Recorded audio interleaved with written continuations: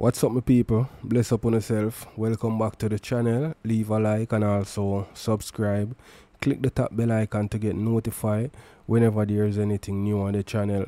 So we have two videos I'm going to share with the people. But before me get into the video, I'm going to share this with you. Zine. Cop celebrated conviction of reputed Clarendon gangster Avatar.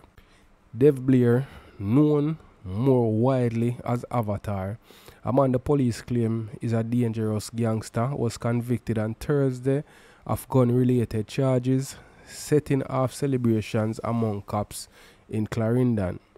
Blair pleaded guilty to illegal possession of a firearm and two counts of shooting with intent in the Manchester Circuit Court, abruptly ending his trial, which began before Justice Judith Pusey on Monday. He is scheduled to be sentenced on January 29. Three previous gun related charges against him collapsed because witnesses refused to cooperate with authorities, law enforcement sources disclosed. When the police in Clarendon heard that he was convicted, them rushed to the courthouse because them couldn't believe it. They were celebrating, said one police source. He is one of Clarendon's most notorious gangsters, claim the source. Prosecutors Natalie Malcolm, Deputy Director of Public Prosecution, and Sian Nelson were prepared to lead evidence that Avatar engaged members of the police team in a fierce gun battle when they attempt to arrest him at a house in Clarendon in 2021.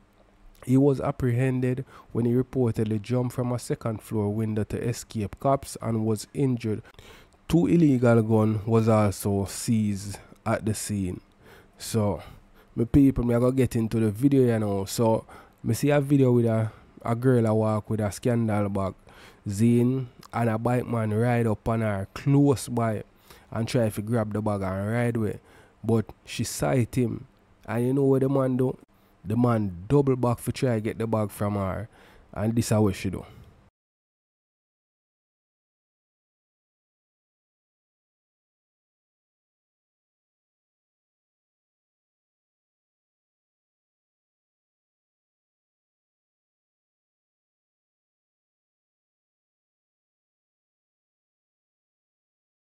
So to see where this person you do, double back try to grab the bag. But you know what I mean? The girl quick thinking cause him finna get the bag. Me I wonder what did he in the bag. You see me I say that no look like say no shop she go go buy nothing. That look like say boy it's either some money, a phone or something in at the bag where him the rider know about.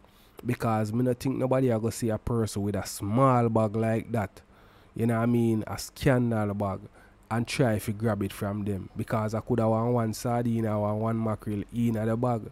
It look like same no say something valuable in the bag there. You understand me I say?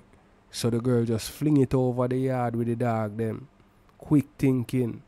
People wanna be careful on the road. You see me?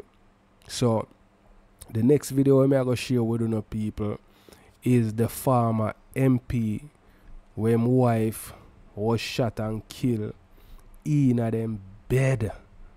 You see me I say? And them bring him in yesterday and them charge him. You see me I say? For my wife murder and them say boy them I go charge him for some other things also.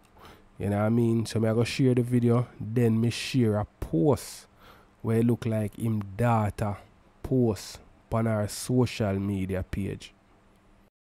As the police continue its investigation in the murder of Melissa Silvera on Friday, the 19th of January 2024, after a question and answer session at the Major Investigation Division Office, about 12 midday, Jolyan Silvera, age 52 years old, land developer of 2A Diamond Court, Stony Hill, St. Andrew, was formally charged by the police, that is the Major Investigation Division, for the murder of his wife, Melissa Silvera.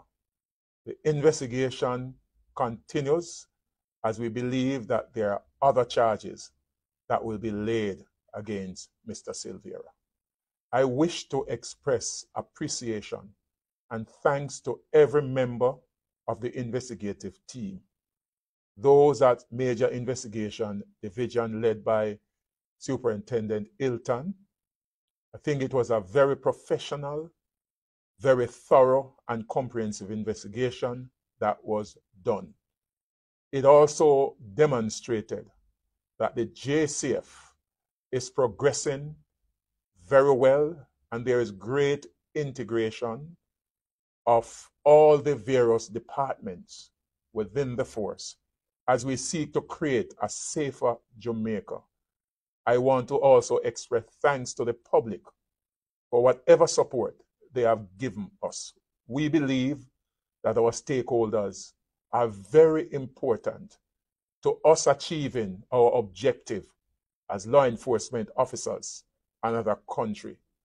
I also want to appeal to Jamaica that we collectively can make Jamaica a safer place if we all work together for the common good of this nation.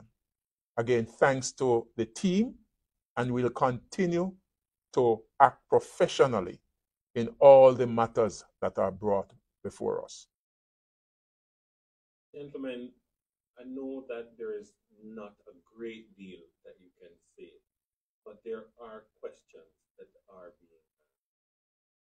One of those questions relates to the use of science or the ballistic science or the forensic science, the use of technology, um, cyber forensics, and that kind of thing.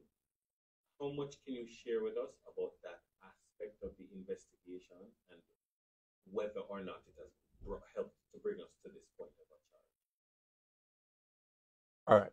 I will answer the part regarding, as you know, the JCF continues to explore science as an important part of what we do. And in this investigation, all the sciences were applied from cyber, ballistics, um, telecommunications, all of those sciences were applied. And I will hasten to say that this case was not one of the easiest one for us.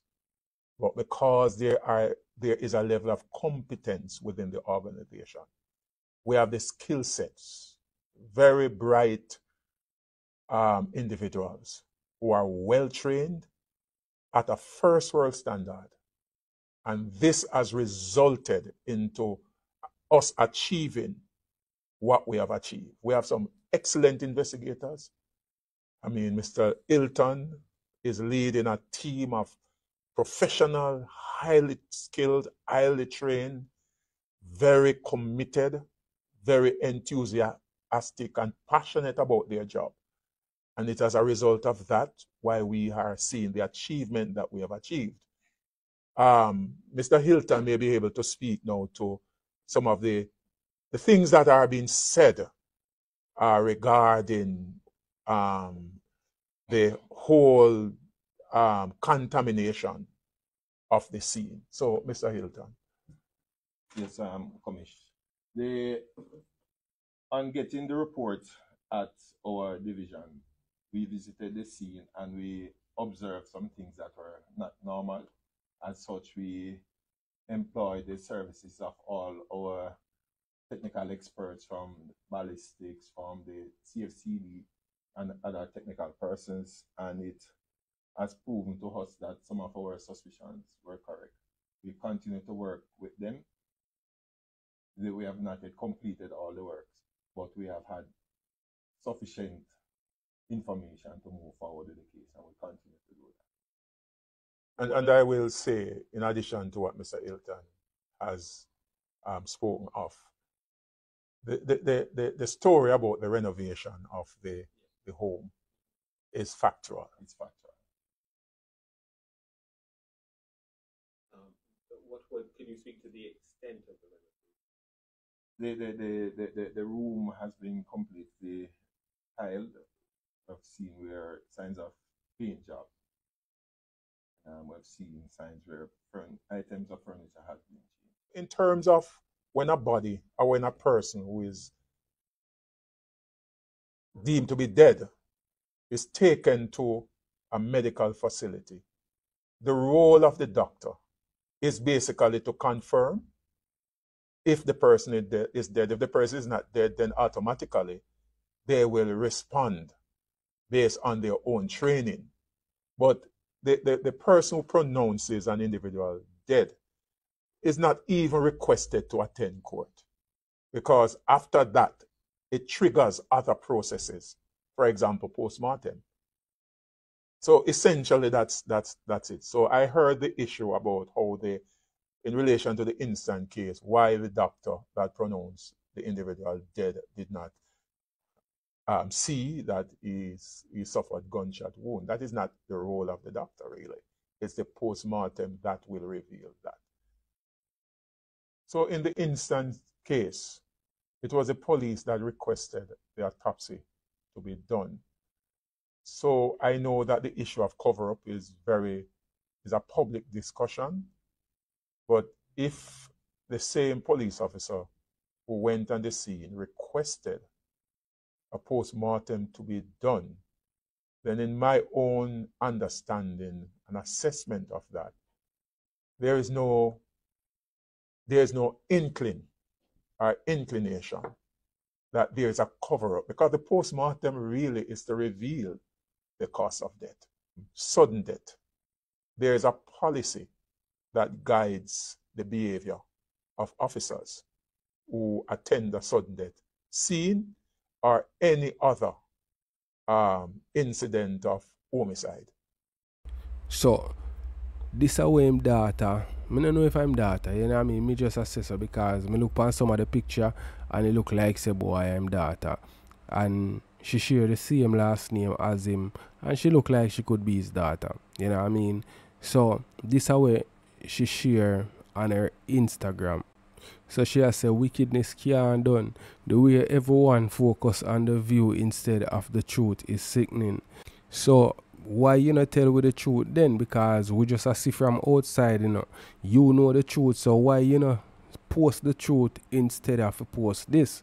Simple as that. You know what I mean? We have to work off of what we say. You see it? And I in the bedroom she get killed. So people are gonna say boy him and then first them say boy she died of natural causes I know people are here say boy a gunshot. So people are gonna naturally want point finger at him. You see me I say? So people just leave your comments in the comment section and let me know what you think.